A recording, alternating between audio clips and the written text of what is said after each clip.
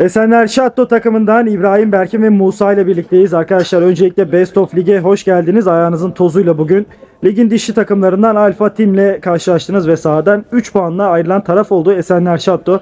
Neler düşünüyorsun İbrahim? Önce senden başlayalım. Maçla alakalı düşüncelerin. Güzel maçtı. Rakibimize sert olmadan böyle centilmencilce güzel bir karşılaşma geçirdikleri için teşekkür ediyoruz öncelikle. Herkesin ayağına sağlık. Güzel oynadık.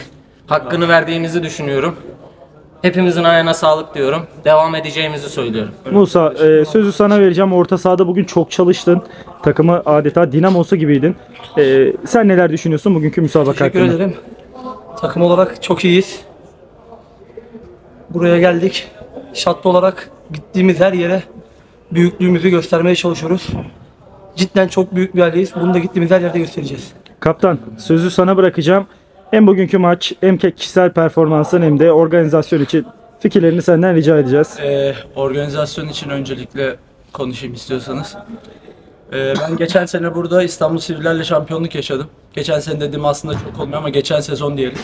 Ee, turnuvayı çok beğendim. Sivri, Sivriler de benim bir aile. Hiçbir problem yok aramızda.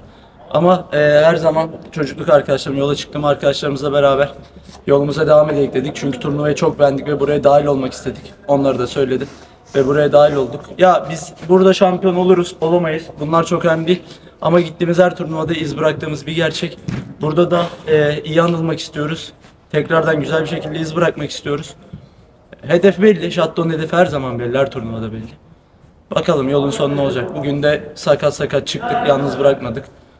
Ee, güzel bir gün oldu benim için. Peki tebrik ediyoruz. Önümüzdeki müsabakalarda başarılar diliyoruz şimdi. Sağ olun.